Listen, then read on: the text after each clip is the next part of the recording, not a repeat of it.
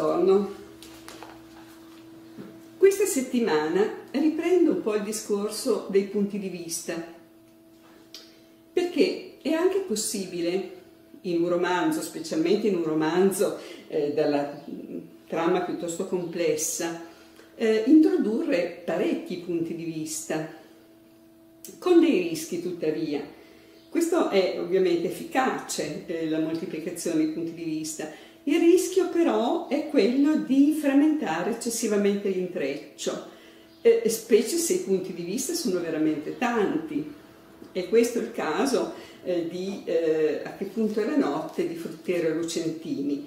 Però Fruttero e Lucentini sono dei grandi maestri orchestratori, no? E quindi da, dal loro libro, dalla loro scrittura, abbiamo moltissimo da imparare. Ho scelto di brevi brani in questo libro per dimostrare eh, che cosa eh, voglio dire questa settimana. Allora, uno dei personaggi molto importante perché non tanto di per sé eh, come personaggio, ma per i momenti in cui compare, per il ruolo che ha nella storia, che è un giallo, che quindi ovviamente non mi guardo bene da raccontarvi, ehm, è quello del venditore di matite.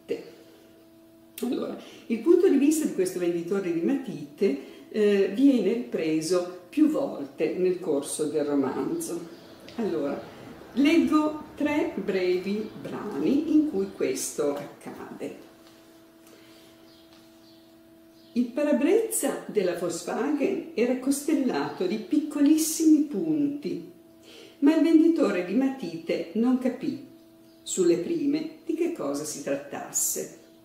Pensò vagamente a granelli di smog, tracce di mosche o di insetti e continuò a guardare il tratto di viale cittadino che aveva davanti a sé. Ma poi ricordò che era inverno e che già prima, quando si era fermato a Trana per un caffè, aveva sentito nell'aria la neve. Una cinquantina di pagine più avanti eh, lo ritroviamo. Ecco, tenete presente una cinquantina di pagine più avanti. La Volkswagen era ferma sul cavalcavia. Il venditore di matite aveva spento i fari e chinato di fianco verso l'altro sportello guardava giù alla sua destra. Di tanto in tanto guardava anche dietro di sé per vedere se sopraggiungesse qualcun altro. Ma a quell'ora, e con la neve che cadeva sempre più fitta, la provinciale era deserta. Centinaio di pagine più avanti attenzione, dico sempre 100 pagine più avanti, questo è, è importante perché non sono punti di vista consecutivi, sono lontani tra loro. No? Il venditore di matite aveva aperto gli occhi già da un momento, ma non riusciva a capire che cosa fosse lo schermo biancastro, rettangolare, vagamente luminoso che aveva davanti a sé nella semioscurità. Doveva essersi addormentato guardando la televisione e adesso sull'apparecchio rimasto acceso l'immagine era sparita per qualche disturbo o i suoi occhi forse erano ancora troppo annebbiati per metterla a fuoco. Eppure distingueva perfettamente sotto lo schermo a sinistra la piccola spia rossa che indicava... Eh, no, la spia del televisore era bianca o forse azzurra lui in ogni modo la televisione non la guardava mai. Improvvisamente si ricordò. Le immagini, almeno in parte, diventarono comprensibili. Il motore era spento, ma il contatto non era stato tolto. La spia indicava che la batteria si stava scaricando. Andiamo ancora un paio di pagine più avanti, ma la scena è sempre la stessa. Eh? però è la conclusione di queste scene. Dice, ma non era un insetto e non era nella sua testa. Si rese conto, era il motorino del tergicristallo incantato che non la smetteva di rozzare. Mosse le dita verso la chiavetta e seppe tutto a un tratto quello che doveva scrivere. Sarebbe bastato quello. Sorrise ringraziando la Madonna. Un messaggio breve, brevissimo. Poi c'è una riga bianca. Adesso il motorino non ronzava più. La spia rossa sul cruscotto si era spenta. La mano era ricaduta e si era rattrappita sul volante nel momento stesso in cui il venditore aveva smesso di respirare.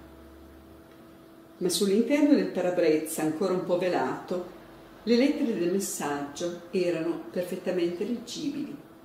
Topos. E qui si chiude il capitolo. Allora, che cosa è importante fare quando si riprende un punto di vista? Beh, intanto è indispensabile fornire degli elementi caratterizzanti. Eh, qui per esempio c'è in genere la Volkswagen, c'è il parabrezza, c'è il motorino dei, dei tergicristalli e grande elemento unificante di tutti questi queste volte in cui torna il punto di vista del venditore di matite, la neve. Tra queste varie, eh, varie riprese di punto di vista, gli autori hanno stabilito anche delle relazioni. Quindi costante il riferimento alle condizioni atmosferiche, Costante anche il tipo d'azione che fa questo personaggio venditore di matite, cioè lui osserva, guarda, eh, punta gli occhi, l'attenzione su qualcosa, quindi fa questo tipo di azioni ripetitive e continua a sorvegliare qualcuno, cioè capiamo che non soltanto guarda ma sorveglia qualcuno che poi si rivela essere una Porsche nera, altro elemento che ricorre a più riprese no? e quindi che richiama e mette in relazione vari, questi vari mh, mm, brani del punto di vista.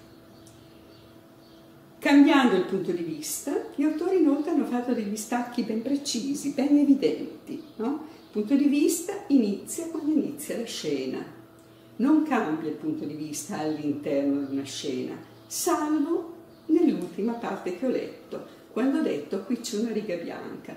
Perché c'è la riga bianca? Lo capiamo subito dopo. Dice la mano era eh, ricaduta e si era rattrappita sul volante nel momento stesso in cui il venditore aveva smesso di respirare. E qui capiamo che è morto. È chiaro che il punto di vista precedente, quando sente il motorino del tergicristallo che eh, è incantato, cioè continua a ronzare anche se il tergicristallo non funziona più, è ancora vivo, dopodiché muore e chiaramente il punto di vista non può più essere il suo e lo vediamo per cui con eh, un punto di vista di terza persona esterna.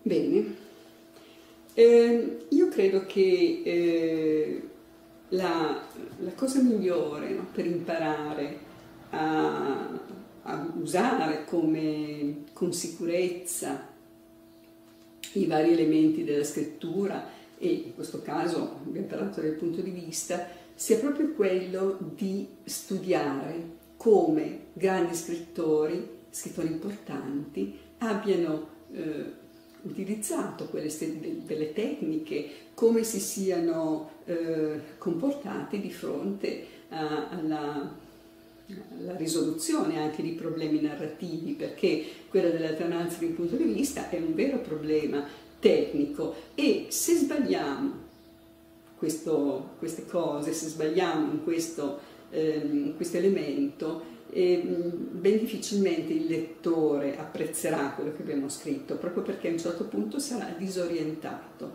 Allora io credo che la prima, primissima preoccupazione di uno scrittore debba essere quella di non disorientare il lettore. Il lettore va tirato dentro la storia, va portato per mano con sé, va affascinato, va interessato, va incuriosito e soprattutto non va disorientato, non va stancato. Con queste riflessioni vi auguro una buona fine settimana. A tutti, ciao!